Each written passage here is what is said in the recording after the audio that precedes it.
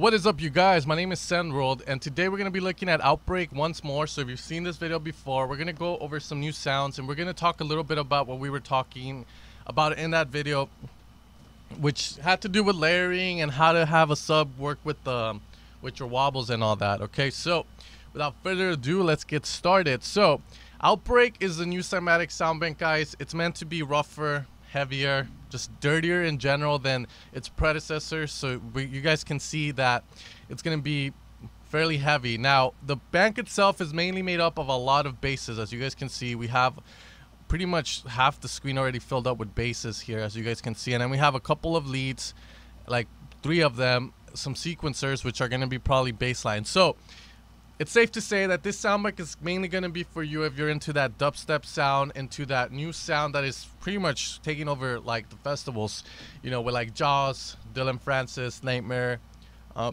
Virtual Riot, and all that good stuff.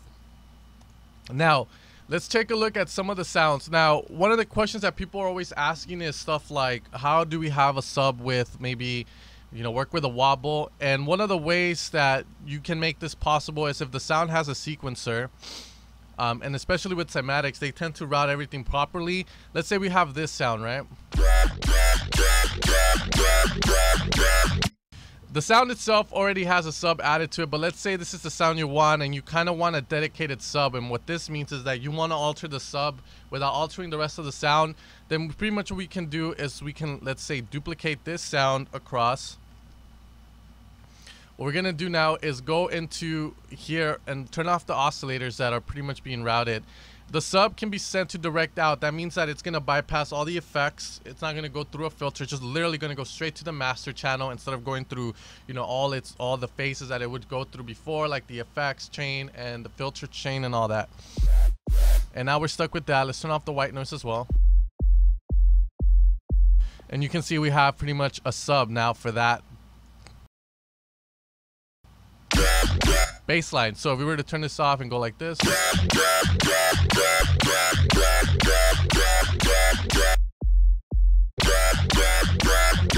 And now the cool thing about this is that I can put the sub bass to be in mono. I can saturate it a certain way, maybe, you know, focusing on that frequency it's at and, and add a bit of saturation. Uh, add a bit of saturation or even increase the volume by Max. Now I'm using this sound bank as a tool for this because it's perfect for that. A lot of sound banks will provide you with wobbles, but then they won't provide you the LFO and then to the sub, so then you're gonna have to do it yourself. But this is the easiest way of doing that whole how to add a sub to a wobble bass because sometimes wobble basses they're not gonna hit, especially because they're gonna have some sort of attack as you guys can see here. Then that's when we run into that problem because if we have a sub that just hits, it doesn't have an attack, it's literally gonna look like this and it's not gonna do it like this way so you're gonna hear the sub hit first and then the wobble happen and some people tend to pick up on it. I've done that mistake before. So keep that in mind. So in order to do it for other stuff it would be a similar similar uh, way to doing it. Now the cool thing about cymatics guys is the amount of sounds they can create just from wobbles. You know I've always had this perception that wobbles tend to sound the same but as soon as you go into a cymatics pack it's like you're kind of blown away by the amount of sounds. Now, if you again, if you're into dubstep, bass house, trap with growls, dubs, um, you know, and wobbles, then this is the bank for you, obviously. Now, they're gonna have bonuses, as I've explained in the previous video, where pretty much you buy it from within a certain time frame, and you're gonna get, I believe, three packs for free. It's gonna be the vocal phrases, um, virus wave tables, and I believe there's one more that I'm missing. I think it's gonna be some type of wave tables. Now, this pack, again, is perfect if you're into that bass house dubstep kind of feel.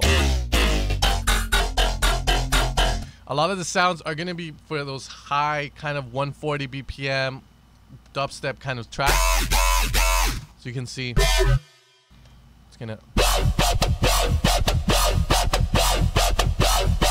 Very, very cool sounds, guys. It's pretty crazy what you can do. And one of the cool things about it is the pretty much the way they're using the filters.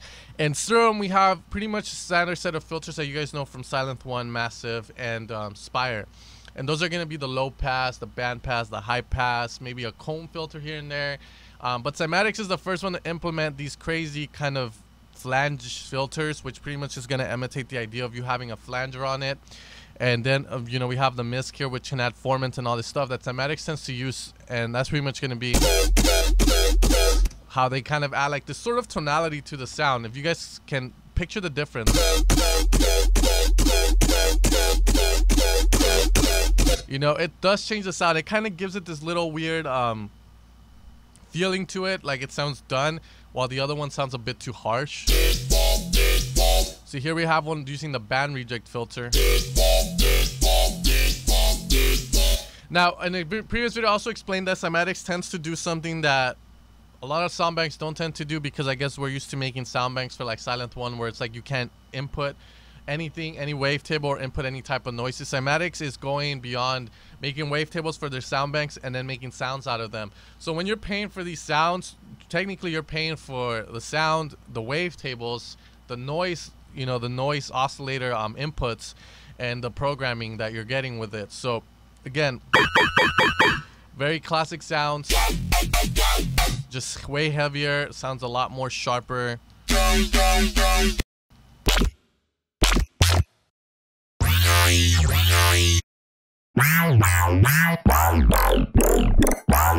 You know, and again, the the use of the filter is very, very creative. As you guys can see here, we have pretty much the starting point for this. And a lot of people don't know that when you create like this sort of LFO here, what you can do is you can right click anywhere in the LFO and you can set that as the starting point.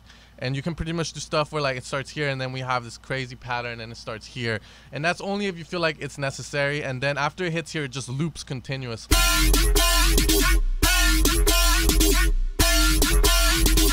okay.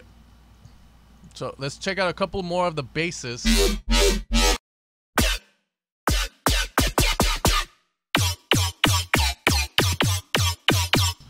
And also another cool thing is if you want to see all the programming that goes into these sounds, you can easily go into the matrix of any patch preset that you have and you can see all the programming that was done to create that sound and you can also I believe turn it off. So if you want to turn off all these parameters that Cymatics has done, we can and see the difference between uh, basic sound to uh, Cymatics programmed sound. So if we're going to do this right now,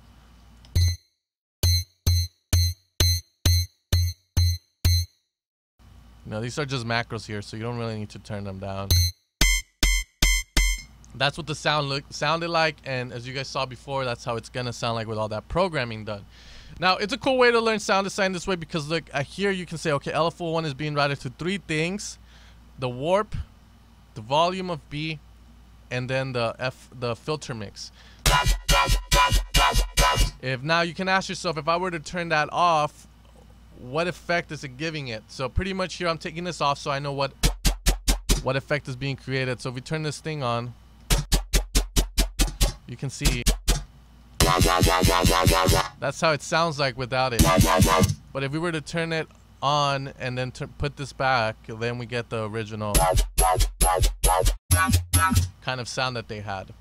So again, very, very cool stuff in the sound bank. And again, if you're doing dubstep, you know, this is the bank for you. Obviously, if you're making progressive house, I don't know how you're going to implement wobbles.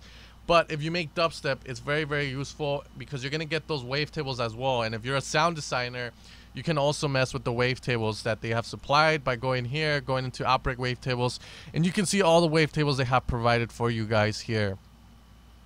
Now, um, Cymatics is releasing another $1 wavetable pack if that's what you guys are into, which is going to be the anniversary wavetables we are, which are here, which I will make a video about tomorrow. So make sure to stick around for that, guys. But this has been Outbreak by Cymatics. Again, you guys can check out the pack by clicking in the link below. Now, guys, I'm going to be releasing a video either today or tomorrow, and it's going to relate to music uh, music marketing with um, with another company, and they're going to be giving us their input on blogs, you know how to get SoundCloud followers and all that. So make sure to stick around for that. This has been Cymatics Outbreak. Hopefully you guys enjoyed it, and I'll see you guys next time. Take care and have a good one.